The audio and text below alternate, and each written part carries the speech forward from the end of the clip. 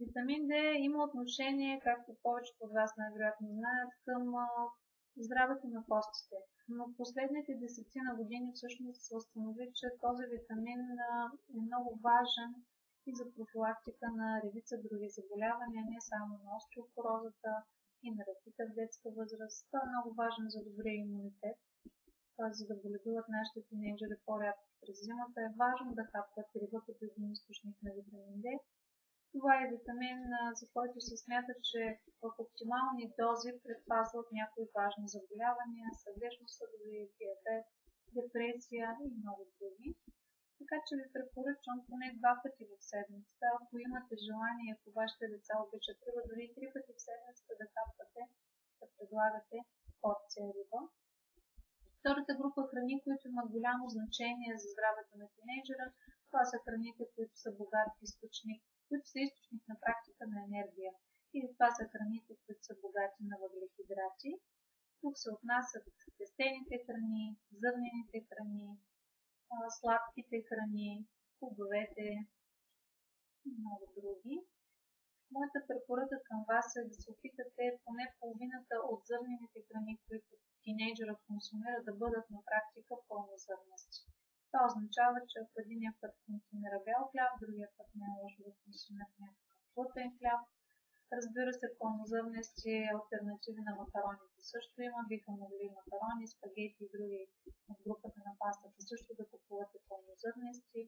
Пълнозърнести альтернативи са примерно овесените ядки, повечето мюсли също са пълнозърнести.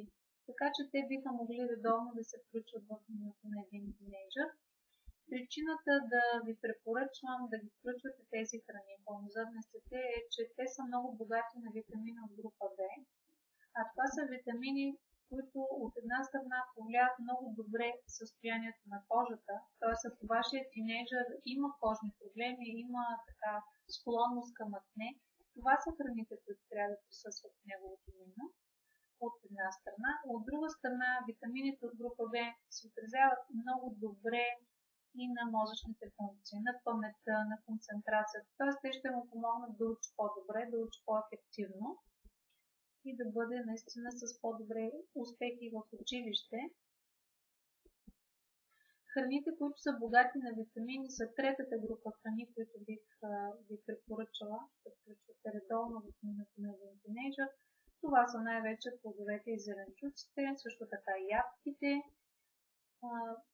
за плодове и зеленчуци многократно сме говорили от екрана на сайта Дечко.bg.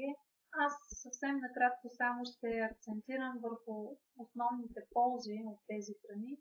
Те са от най-голямо значение всъщност за имунитета, особено през зимните месеци, но също така са много важни тези храни за добрия външен вид и за здравето на кожата, за да има тя наистина един здрав вид и да изглежда добре.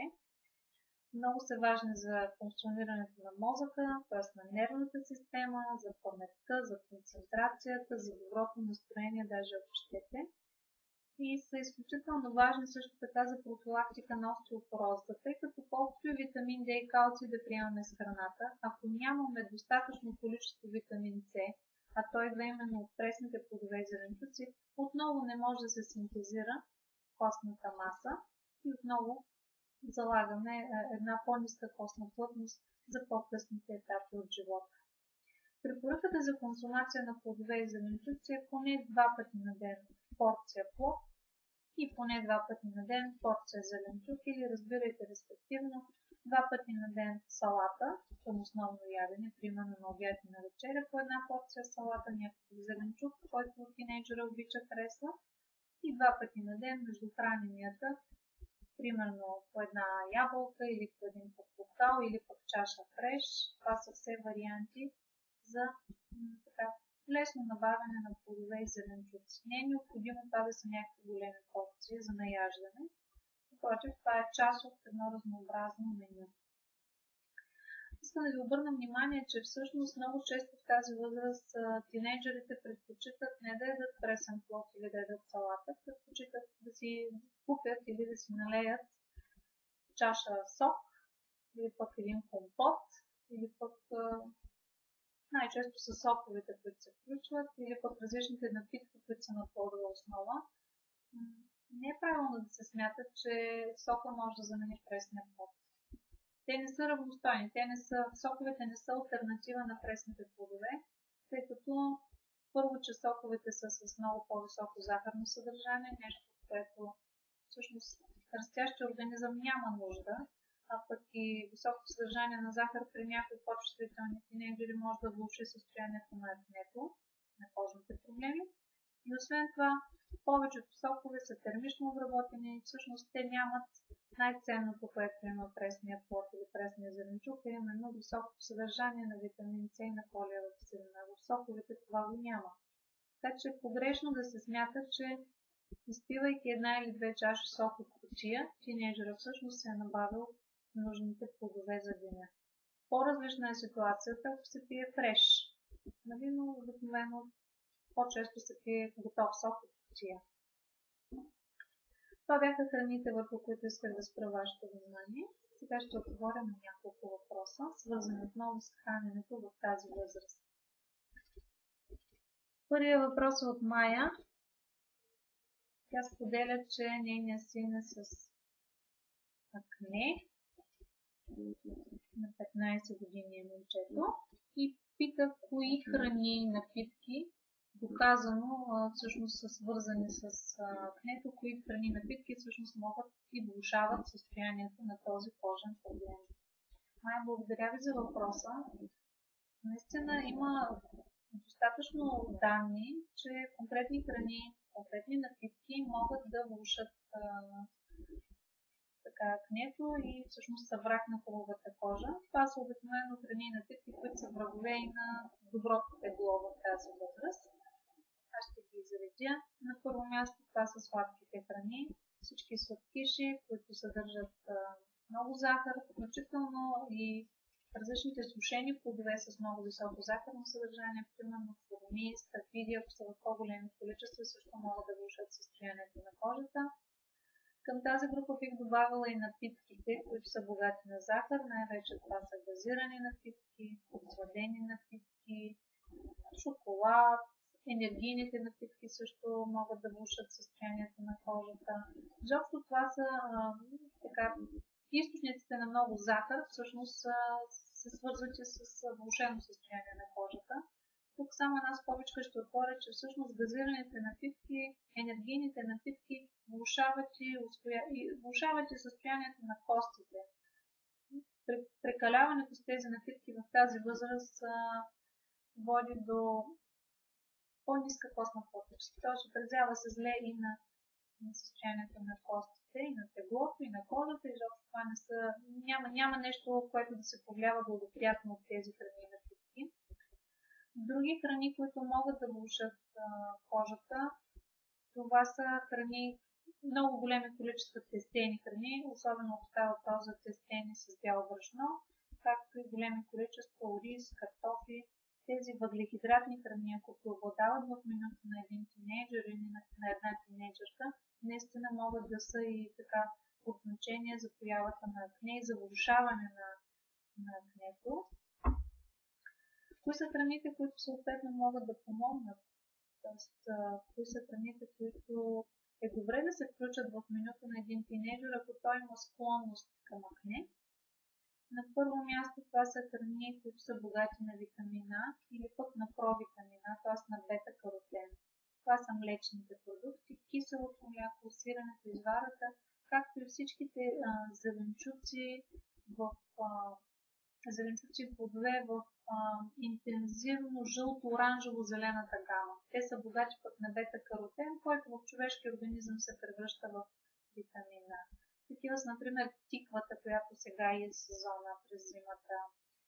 Такива са, примерно, потокалите, морковите, карфиола, зе, а, броколи, спанак, зелени салати и така нататък. Всички тези храни би трябвало да присъстват редовно в менюто на един тинейджър, който има кожни проблеми. Те могат действително да помогнат за тези проблеми. Други храни, които така биха облегчили състоянието. Това са храни богати на селен, като примерно риба, морски дарове, месо, повечето ядки също са богати на селен, както и храни богати на така наречените омега-3 масни киселини. Тези масни киселини за тях е доказано, че потискат, намаляват кожните възпаления и всъщност са много важни за добрия външен вид на кожата. Такива храни са мазната риба, орехите, вадемите, изобщо ядките. Също е добре да се включат в менюто на тинейджър, който има притеснения относно състоянието на кожата си. Надявам се, че ще намерите какво да му предложите като альтернатива, за да има наистина по-добро състояние на кожата. Следващия въпрос, на който бих искала да отговоря,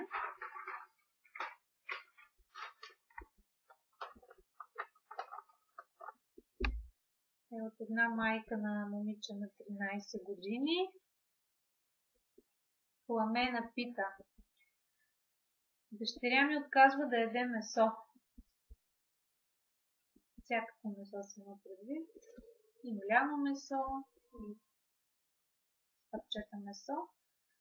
Джипито и пусна изследвания и каза, че всичко е наред с кръвта й, но все пак съществува ли риск за здравето на дъщеря ми? Трябва ли да се притесняваме и да настояваме да ядем месо? Здравейте, Пламена! Често срещано е в тази възраст децата да откажат приема на конкретна храна или даже на цели групи храни, както е станало при вас. Цялата група на месото е отказана от дъщеря ви. Ако дъщеря ви приема редовно мляко, сирене, яйца и риба, не би трябвало да има някакви проблеми с нейното здраве. Не би трябвало да има някакви последици за здравето ви. Опитайте се действително в менюто да включвате редовно тези храни, които изредих, млечните продукти, яйцата, рибата. Би трябвало, ако действително редовно ги включвате, да няма някакви проблеми с растежа, развитието или пък даже ако щете хемоглобина. Въпросът е да разнообразявате храненето с всички останали храни, които тинейджърката се съгласява да приема и да проявите една сериозна доза търпение. Най-вероятно това нежелание да консумира месо ще продължи известно време, след което само себе си. Разбира се, а, ако тинейджърката пожелае, то ще, ще премине това желание и най-вероятно отново ще възстанови желанието си да консумира месо, а дори да не дойде такъв момент, това не е толкова страшно. Даже бих казала, че изобщо не е страшно, ако консумира достатъчно често риба, яйца, млечни продукти и се храни разнообразно, като включва достатъчно плодове, зеленчуци, зърнени храни и ядки. Така че не се притеснявайте, не настоявайте да консумираме месо, щом няма желание. Да се надяваме, че всички останали храни няма да се е чужди и ще ги консумират с желание.